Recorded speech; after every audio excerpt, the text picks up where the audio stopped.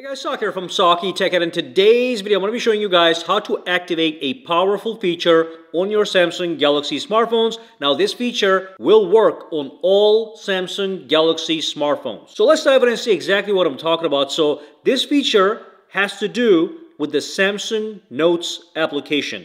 It is something a lot of people want to use, but they're not aware it is actually built in to Samsung Notes. So launch the Samsung Notes application okay? And here I have basically highly sensitive information. So this is just an example. The title says credit card numbers and I have my credit card number, the expiration date, and the security code. Again, this is just an example of a highly sensitive file that I want to hide from other people. A note, okay? Could have your passwords, could have PIN numbers, could have access codes, could have social security numbers, whatever you want, you can create a note okay? And then after you create the note, you can either press and hold on the note or go inside the note and tap this button over here and you can say at the bottom, lock the note. You're to see the lock icon. So when you tap on the lock icon, that is going to lock that note. Once it is locked, it's to have this lock icon on it. And when you tap on it, you are able to use a password, as you can see, or use your fingerprint to log in to that locked note with the sensitive information.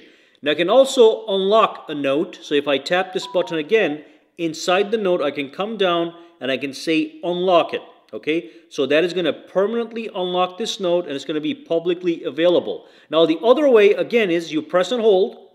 Okay, and at the bottom you can see the lock icon. You can tap on lock and that is going to lock that note. Now there's a couple more things with this one. One of the things that I like a lot is you can see that I have three lock notes right now, three examples, okay? So when I tap this button here to access my folders, if you do have any locked notes, you are able to go into this folder and access all your locked notes in one place and you can go and access them right from here. Again, you just tap on it, fingerprint, boom, it unlocks.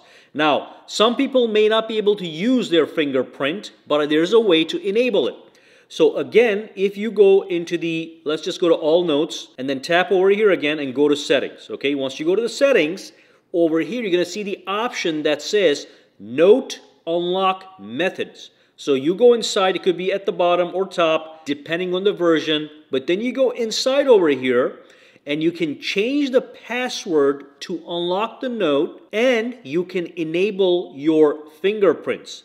Now remember, when you set, when you try to lock a note for the very first time, it is going to ask you to pick a password. Make sure you remember that password.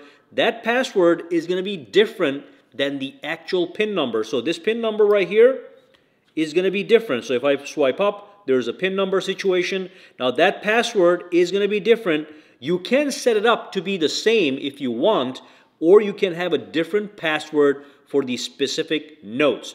But you do enable fingerprints right from here. Alright, so that's a quick feature for you guys. Again, like I said, a lot of people want something like this, but they are simply not aware that it's built into the Samsung Notes application on all Samsung Notes. Any questions, comments, or concerns? Drop them down below. Let me know. For now, guys, have a fantastic day.